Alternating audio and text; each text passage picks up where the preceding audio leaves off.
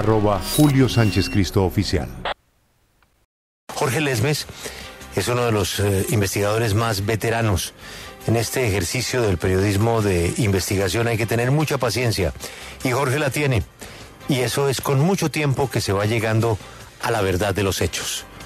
Y comienza a verse una luz diferente en el caso de Laura Sarabia, eh, del polígrafo, pero sobre todo de lo que pasó con su empleada del servicio. Un muy interesante artículo que, como usted ha anunciado, firma Jorge Lesmes y que está publicado en Revista Alternativa. Se titula ¿Qué descubrió la fiscal 101 de la unidad de hurtos que tanto incomoda a Laura Sarabia?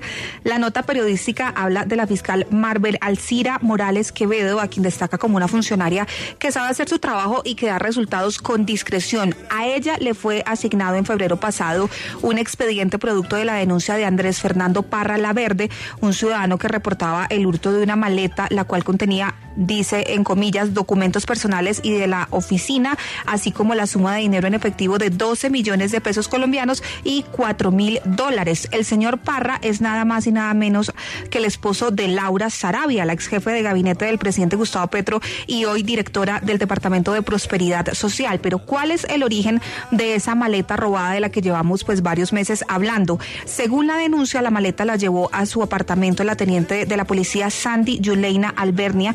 Para ese entonces era la jefe del esquema de seguridad de Laura Sarabia, que aparecen dos nombres de esta sonada historia. Recordará usted a Marelvis del Carmen Mesa, la niñera del hijo de Laura Sarabia, y Fabiola, quien era otra empleada de ese apartamento. Parra menciona que ellas trabajaban en eh, su casa y entregó los números de teléfono con un detalle que no es menor, y es que el día de la entrega de la maleta fue autorizada Marelvis Mesa para recibir porque ninguno de sus jefes estaban en casa. En su declaración dice algo que llama la atención de la fiscalía es que Marelvis Mesa Vuelvas en su último trabajo salió despedida por la pérdida de un dinero donde le realizaron un polígrafo con resultado negativo. Ahí empieza Jorge a poner unos asteriscos sobre los hechos y sobre lo llamativo que resulta después esto para la investigación y para las deducciones que saca la fiscal del caso. El artículo también cita el relato de la jefe de seguridad de Laura Sarabia, quien afirma que subió junto al conductor al apartamento a entregar la maleta porque era un poco pesada y en la puerta lo recibió la empleada de servicio, que la maleta quedó ubicada en el sofá de la sala donde ella les indicó y de inmediato se retiraron y que desconocían lo que contenía la maleta. Posteriormente viene una narración de hechos de lo que pasó después de ese día y llama también la atención sobre varios puntos de temas que no cuadran. El primero tiene que ver con la insistencia de los investigadores de interceptar cuanto antes el celular de la niñera Marel Bismesa. También habla de la aparición de un testigo que contó sobre el rumor de la venta de dólares hurtados en una residencia de ricos y que se ofrecían en un barrio popular de Suba, entre otros eh, temas que son muy interesantes y que hacen parte de esta investigación que se publica en la revista Alternativa y que da continuidad a esa novela de la niñera que terminó siendo eh, interceptada al parecer de forma irregular y la que también se sometió a una prueba de polígrafo, la cual le costó inicialmente el puesto de jefe de gabinete a Laura Sarabia meses atrás. Un resumen conciso, concreto, hizo la tarea Marcela. 8.59. Saludamos a esta hora a Jorge Lesmes. Esa historia se llama ¿Qué descubrió la fiscal 101 de la unidad de hurtos que tanto incomoda a Laura Sarabia? Jorge, gracias por estar con nosotros. María Camila, buen día. Eh, muchas gracias por esta invitación. ¿Y qué fue lo que descubrió esta fiscal? Porque es que ya Marcela nos hizo un recuento de todas las cosas que usted pone allí, em, de lo que llama la atención, de esa insistencia de interceptar los teléfonos, de, de la narración de los hechos como tal. Pero ¿qué es lo que descubre esa fiscal que le incomoda a Laura? Sí, Marcela hizo un muy buen resumen de un largo y extenso artículo que publicamos ayer domingo como un especial de la revista en la parte digital. Y digamos que eh, hay unos temas muy puntuales que llamaron la atención de la fiscal hoy. Mañana tiene una audiencia porque quieren involucrarla también en el tema de las irregularidades en la interceptación de los teléfonos y, es, es, una de las tareas que tiene que cumplir la fiscal mañana. Pero concretamente la fiscal descubre tres cosas que a nosotros nos llaman mucho la atención. Uno, Ella recibe el expediente eh, del hurto, de la denuncia del hurto. Eh, ella trabaja en la unidad de hurtos en Bogotá de la Fiscal 101. Lo recibe el primero de febrero. La declaración del hurto hecha por el esposo de Laura Sarabia será el 28 de, de enero. Y ya el 30 de enero, o sea, dos días después de la denuncia del hurto, los teléfonos de la niñera estaban interceptados. El celular de la niñera estaba interceptado a partir del 30 de enero. O sea, ni siquiera la fiscal había estudiado el caso cuando ya los teléfonos, los, los celulares de la niñera están interceptados por una orden de unos oficiales y de un fiscal, solicitada a un fiscal, a un juez de garantías en Quibdó.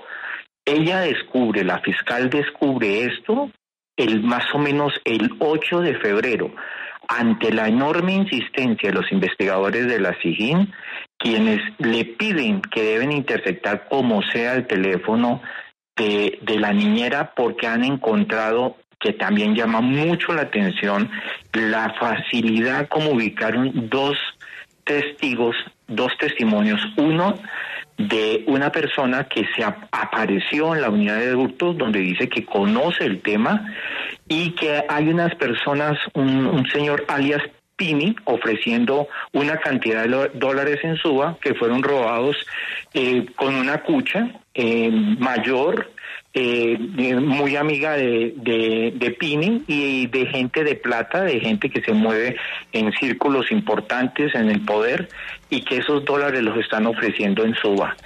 Y lo otro, la, el, el interrogante o el testimonio que rinde un, supuesto conductor de una de las plataformas de servicios de Vivi que ha recogido a María Elvis el 28 de enero en la casa de, Laura Sarabia y ese conductor se acuerda bien el nombre de ella, sabe que le, le cuenta que va urgente para eh, que la lleve urgente a, a, tomar un transmilenio y que ese transmilenio ella quiere ir urgente para Suba, que necesita llegar a un barrio popular de Suba. Entonces todos estos elementos llevan a la fiscal a pensar de que algo no está funcionando bien, que la investigación no tiene el proceso que ellos esperaban y ahí es donde ella comienza a dar una serie de cabos que cree y le presenta al fiscal anticorrupción de la fiscalía diciendo los problemas que ella ve en la investigación. Sí, e, esta, esta investigación nos deja, por supuesto, también nuevos interrogantes y, y pareciera que no estamos tan cerca de conocer el desenlace de esta historia a la que le hemos hecho seguimiento desde hace varios meses, pero yo quiero preguntarle porque usted en su nota titula que esto ha generado incomodidad en Laura Sarabia. ¿Cómo se ha evidenciado esa incomodidad? ¿Por qué usted deduce que esto termina incomodándola a ella? No, no es, no es deducción nuestra, es las mismas fuentes. La, la defensa de Laura Sarabia a raíz de unas declaraciones que tuvo que dar la fiscal ante la Oficina de Anticorrupción explicando todo este proceso, eh, filtraron parte del video de la, de, la, de la interrogación que le hicieron a la fiscal contando cuáles eran todos los problemas que ella había visto y lo publican y lo que alega la defensa de, la, de, de Laura Sarabia es que ella ya se pronunció, tiene, digamos, tiene un concepto preestablecido sobre el tema y han, han, han, hecho pedir que, que, la fiscal sea cambiada del proceso porque no les brinda las garantías. Eh, ese es uno de los puntos que nosotros logramos establecer en la investigación que hemos venido haciendo. Mire, usted después de todo esto que ha investigado, después de lo que va a pasar mañana con la fiscal, después de todo esto, ¿usted cree que va a pasar algo? Porque es que Laura Sarabia en este momento trabaja en el gobierno nacional. ¿Cree que va a pasar algo con ella? ¿Cree que va a pasar algo con la señora Marelvis? ¿Al final va a haber alguna conclusión de todo esto? Eh, Camila, yo creo que siguen existiendo muchos eh, cabos sueltos en esta investigación, porque digamos uno de los temas que no se ha podido establecer es eh, con exactitud los, los viajes de, de la niñera a, a, Venezuela. Nosotros hicimos hace unos meses una publicación sobre el tema y tenemos registrados 12 viajes de, la niñera a, Venezuela en los aviones privados que había alquilado el embajador de entonces.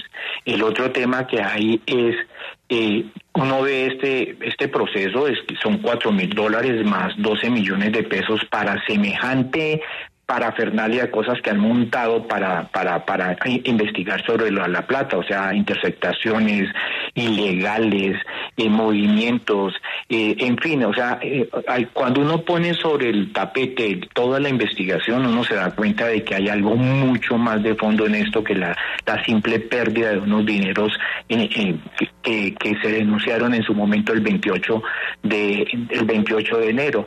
De entrada, la denuncia trae por parte del esposo de Laura Sarabia diciendo que la niñera ya había, había sido señalada de un robo, que la habían metido en polígrafo y que el polígrafo había dado negativo. Eso es parte de la, de la declaración que da el esposo de Laura Sarabia el día 28 a los patrulleros que atendieron el caso. Sí, Jorge, quiero que nos cuente un poco más sobre ese testigo que usted menciona en esta historia y en esta investigación muy acuciosa que ha publicado en Revista Alternativa. Ese testigo que nadie llamó, pero que se apareció con información sobre alias Pino, sobre el tema de los dólares y que es de cierta forma el soporte que después se tiene para lograr ordenar la interceptación de la niñera Marel Bismesa. ¿Qué tanta credibilidad en lo que usted ha investigado puede tener este testigo? Uno al leer la, la declaración del testigo es una declaración de esos testigos muy vacía, muy de oídas, eh, dice que él eh, vive cerca del portal de, de Suba, del portal de Transmilenio. Hace mucho tiempo no ve a este personaje al que llama Pini eh, y finalmente se encuentran y Pini le cuenta que él está muy contento, que le ha ido muy bien últimamente, que por qué no lo ayuda, que tiene unos dólares, una cantidad de plata que, que, que, lograron sacar de una casa y que si tiene alguien que se los ayude a vender. Y lo otro que dice es que después de, la, de, lo, de lo que le cuenta Pini, unos días después aparecen unos personajes en unas camionetas vestidos de corbata averiguando sobre, sobre los dólares. Entonces él dice que cuando ese, ese tipo de personajes van a, a los barrios populares a buscar eh, información es que saben que se trata de un robo grande, que se trata de, de, un, de un tema eh, que tiene involucrada gente importante. Pero digamos, eh, él da muchas vueltas. Uno al leer el testimonio es un testimonio muy largo, muy, muy largo, y al final les dice, mire, yo también necesito plata, mi rey, le dice a los a los investigadores, mi rey, yo vivo también, necesito comer, yo les cuento esto, les facilito el teléfono de Pini y, el teléfono de otro de otra persona con un, tal Pacho y uno ve en la investigación que todos estos teléfonos, estos dos teléfonos los incorporaron también en las interceptaciones y les hacen una serie de seguimientos esos dos teléfonos, pero esos dos teléfonos, si bien están activos, eh, lo que se habla, lo que se dice es muy vago hasta tal punto de que deciden retirar de la interceptación los dos teléfonos. Acompáñenos en el canal de YouTube arroba Julio Sánchez Cristo Oficial.